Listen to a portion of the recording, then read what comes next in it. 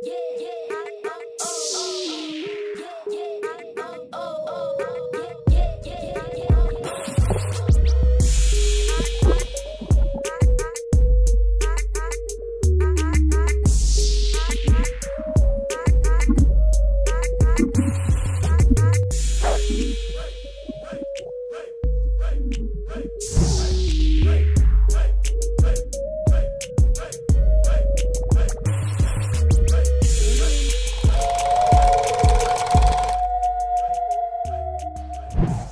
momento eu estou morando muito longe do meu trabalho atual.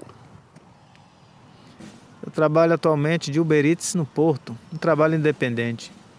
Então pensei, pensei e tive uma ideia sensacional. É isso, é isso mesmo que eu vou fazer. O inesperado vai acontecer na minha vida agora, a partir de agora em diante. Acompanhe aí. Primeiro tive que sair cedo, cedo assim, tipo meio-dia, para ir até a Uber Eats para devolver a mochila da Uber.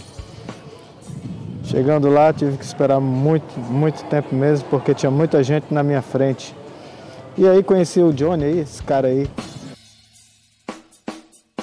Aí, cara, saí agora aqui do da Uber, daqui do Porto, e o que acontece? A mochila só pode ser trocada se tu usar no mínimo três meses. Ou seja, tem que ter no mínimo três meses de Uber. Demorou muito o atendimento, muito, muito, muito mesmo. Essa foi a vez, cara, que mais demorou. Nunca esperei tanto. Então agora vamos lá no North Shop ver aí alguns equipamentos para eu tentar fazer aí o que eu quero, meu esquema. Logo eu fui atrás de uma loja da Decathlon. Fui ao North Shop, mas lá não tinha. Não lembrava desse detalhe. Então tive que andar mais 6,7 km até chegar lá em Matozinhos.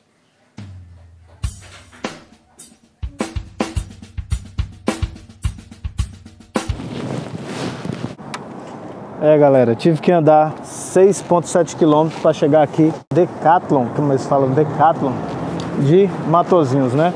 No Norte Shop não tinha, então vamos lá. Previsão de chuva já já, aí ó.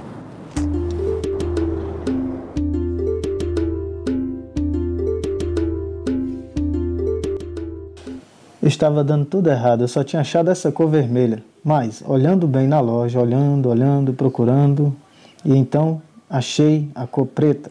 E ainda mais barato do que a outra.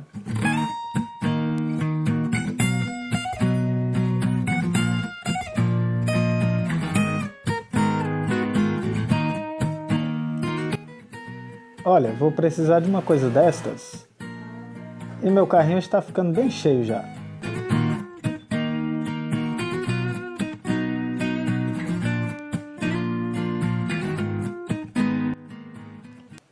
Este saco de dormir, 80 euros. Olha só, capacidade 0 graus.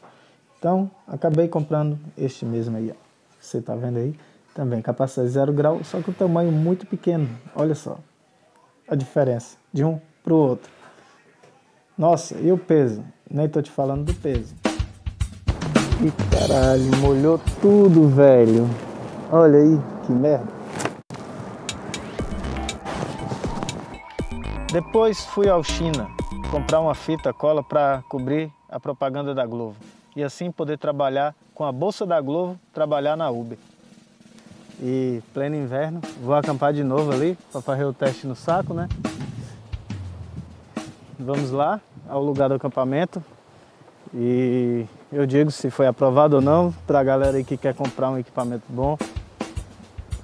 Eu vou dizer aí se é bom ou se não é esse equipamento aí, consegui meter tudo dentro dessa bolsa, velho. Ficou tudo bem compacto. Ninguém imagina que eu vou fazer um campo.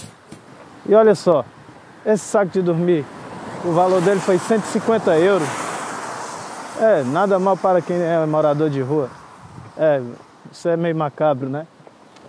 Mas vamos lá. Estamos chegando lá no lugar. Uh!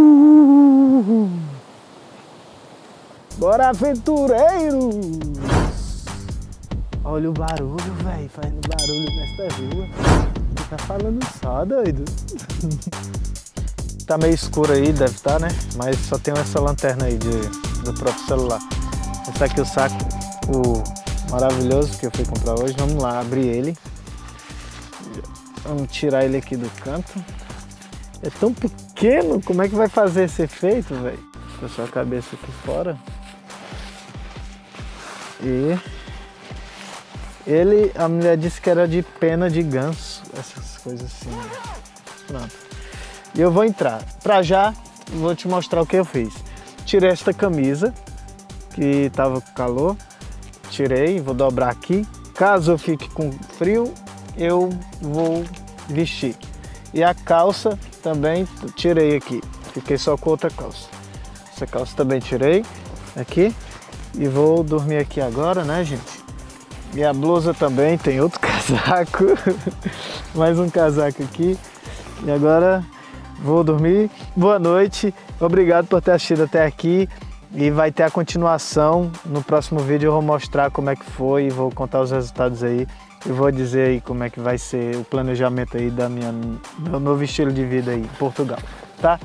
Tchau, tchau, obrigado, fui.